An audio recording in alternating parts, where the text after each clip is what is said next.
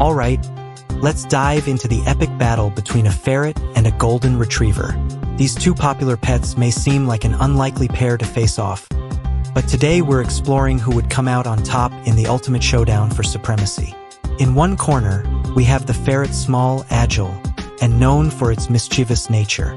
And in the other corner, the golden retriever loyal, strong, and beloved for its friendly demeanor. The stage is set for a clash of different sizes, strengths, and agility levels. As we delve deeper into the natural instincts and abilities of these contenders, it's clear that the ferret's speed and flexibility could give it an edge in maneuvering around the golden retriever's larger size and strength.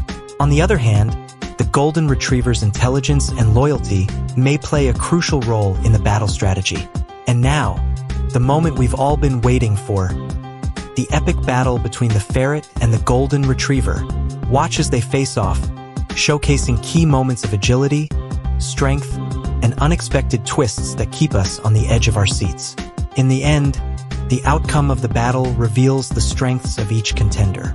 The ferret's speed and agility prove to be a formidable match against the golden retriever's size and strength. Both pets have their unique qualities that make them special in their own right. What do you think? Who would you root for in this epic battle for supremacy? Share your thoughts in the comments below, and don't forget to subscribe for more entertaining videos. Thanks for watching.